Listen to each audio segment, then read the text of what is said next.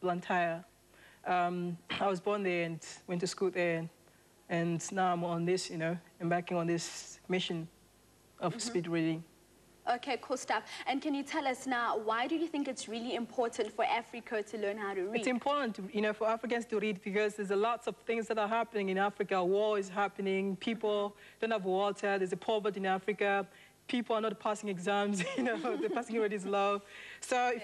There's a need. You know, we have to read it to combat so that we need uh, people that can uh, take this Africa to another level. We need new Yeah. leaders, intelligent leaders. Mhm, definitely, I agree with you. Now, how exactly did you start your entire outreach program throughout Africa? All right. Um, actually, you know, it's something that just happened, you know, because I read a lot. And I read lots of books, magazines, newspapers, encyclopedias. So then um, I started you know, in 2000, you know, with uh, this country. Okay, cool. Absolutely. Now, you told me a story that you didn't like reading. Why did you not like reading? Yeah, it was like this, like, you know, I was young. Mm-hmm. Um, you know, when you tell a child to read a book, you know, the eyelids just become heavy. You just want to go to sleep and Right. sleep. You just want to go to sleep, that's all. So I thought my mom was evil. I thought she was a bad person. I thought she was really, you know, mm-hmm. punishing me. But now I regret that I thought that way because now reading has taken me beyond my imagination. So mm-hmm. it's very important. So I hated reading. But as time goes on, then that passion just grew in me, and then I started even, you know, getting books and uh, reading a lot every day, and a lot, a lot. All right. And, and what age were you when you actually started reading? I was actually, you know, five and six years old, as far as I can remember. I was very young, and um, yeah. And uh, how old were you when you actually started speed reading? How old were you then? Okay, I must say that I was, um, how old are you? 20, yeah, 20, 21, You something 20. that, yeah. Okay, cool stuff. And what exactly is speed reading? Because some people at home don't understand when you say speed Okay, reading. Okay, speed reading is when you can uh, pick up you know, a book or a magazine, um, encyclopedia, then you read fast. You start from the beginning to the end, and you read as quickly as you can. Right. So we got sl- slow reading when you read something, and then you put it down because you, now you're tired and things like that. You can't finish it. You read one book for like a week. So speed reading helps you, encourages you to read a book within a day and finish it. Maybe read three books a day. Yeah. Okay, cool stuff. And I want to know how long it takes someone to actually speed read Instantly. instantly Uh, to teach someone. Two minutes, yeah, yeah. Two minutes. I don't quite believe that-. So Okay. what we're going to do is a little later on, we're going to put you to the test and you're going to try to teach me how to speed read. No props.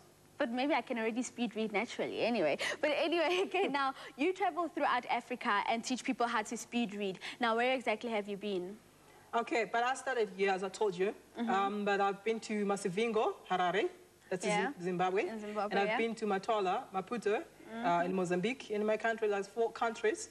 So I'm remaining with 49 countries to complete 49 over. countries to go. And that is your mission, to go through all of them and teach people how to Yes, speed I read. work hard towards that. Okay, but now I want to I want to know from you why is it that you didn't start teaching people in your own country before you actually went out into other countries to teach people how to Yeah.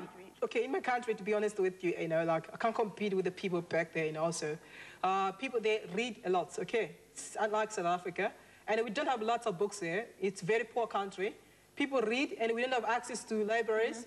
We even go to the mountain to read, to the bush to read. You understand? Just to mm-hmm. get that space and just to get that environment that will keep you and no one will disturb you. Yeah. So there are lots of people there. So mm-hmm. when I come to South, when I came to South Africa, education is easier, and people are complaining that it's hard and all that. Mm-hmm. So and people don't, don't read a lot. You got lots of libraries, you got new books. Yeah, and we read we read old books back there in Malawi, you know, books that are dating back to 1930s, 1950s, 1960s. Yeah. That's old books, you know. Mm. So yeah, you got new books, new magazines, cheap newspapers and all that, but people are still failing to pick up a book and read it and complete it over. So I guess we're taking it for granted. But I also want to know from you, how big a problem is illiteracy in Africa? I mean, you've been to some of the countries and you've seen that some people cannot read. Now, how big a problem do you think that is? Um, okay, I'll, I think I'll tell you from our perspective here in South Africa, because I've been to rural areas, villages and cities and suburbs and things like that, private schools and public schools and all that. And um, there's a huge problem that people can't read. I think you can find, at the school, you can find only four, maybe three, you know, people that have that passion, people that love books. They read every day and they read, they don't like, they don't mix up with the people that don't love books. And understand? They come back Yeah. from school, they eat, and they read. You can see even the speed, you know, when they read, they mm. read fast, even fluently, you understand? So I can say that few people, that's why people are failing exams.